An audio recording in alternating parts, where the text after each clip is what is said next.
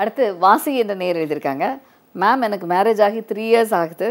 PCOD problem before four years ஆக இருந்தது. But இப்போ பீரியட்ஸ் ரெகுலர் ஆகிட்டேன். டாக்டர் கன்சல்ட் பண்ணதுக்கு இந்த மந்தில் எக்கு ப்ரொடியூஸ் ஆகியிருக்கு. நீங்கள் பீரியட் டேட் தள்ளி போச்சுன்னா வாங்கன்னு சொன்னாங்க. இப்போது டூ டேஸ் ஆச்சு. யூரின் டெஸ்ட் பார்க்கலாமா மேடம் கண்டிப்பாக உங்கள் மாதவிலக்கு மாத மாதம் சரியாக வருது.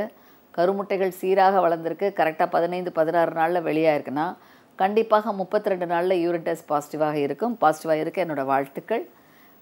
ஒவ்வொரு பெண்ணும் தெரிந்து கொள்ள வேண்டிய விஷயம் இந்த கருமுட்டைகள் வெளியானது இப்போ நீங்கள் ஃபாலிகுலர் ஸ்டடி பண்ணுறீங்க கருமுட்டை வெளியாகிறத பார்க்குறீங்க கருமுட்டை வெளியாகி அது ரப்சர் ஆனது என்று சொன்ன நாளிலிருந்து பதினாறு பதினேழு நாட்களாகும் அந்த லூட்டியல் ஃபேஸ் ஸ்டெபிலைஸ் ஆகி கரு ஒட்டி வளர. இந்த லூட்டியல் ஃபேஸ் சீராக இருந்தால் தான் கருவானது ஒட்டி வளரும். பல நேரங்களில் இந்த கரு ஒட்டி வளராமதுக்கு இந்த லூட்டியல் ஃபேஸ் ஒரு காரணமாக இருக்கலாம். அதுக்கு தேவைன்னா இந்த மருந்துகள் இன்ஜெக்ஷன்ஸ் கொடுப்போம். அதன் மூலமாக கரு வளர்வதற்கு வாய்ப்புகளும் அதிகம். ஸோ கண்டிப்பாக வாசுகி உங்களை பொறுத்த வரைக்கும் நீங்கள் மாதம் ஒரு எக்கு வந்தது இந்த மந்த் கன்சீவ் ஆயின்னு டாக்டர் சொல்லியிருக்காங்கன்னா ப்ராபபிலிட்டி இருக்குது மாத மாதம் கருமுட்டைகள் வரும்போது நீங்கள் தொடர்ச்சியாக தாம்பத்தியம் இருக்கும்போது கருத்தரிக்க வாய்ப்புகள் கண்டிப்பாக உண்டு.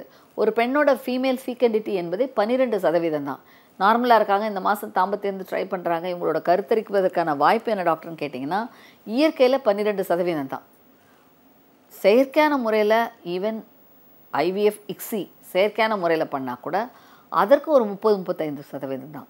ஸோ கண்டிப்பாக ஒரு க பெண் கரு உருவதற்கு காரணங்களும் சக்ஸஸ் ரேட்டும் பர்சன்டேஜும் ஒரு குறிப்பிட்ட அளவு தான் இருக்குது ஸோ அந்த விதத்தில் நீங்கள் இந்த மாதிரி ஒரு பீரியட்ஸில் முட்டை வளர்ந்தது இந்த மந்த் கன்சீவ் ஆகலாம்னு ஆகலாம். அதற்கு வாய்ப்பு பன்னிரெண்டு சதவீதம் டு பதினைந்து சதவீதம் இருக்குது ஒருவேளை கருத்தரிக்கலைன்னா மருத்துவ ரீதியாகவும் உடல் ரீதியாகவும் ஏதாவது பிரச்சனை இருக்கிறதா?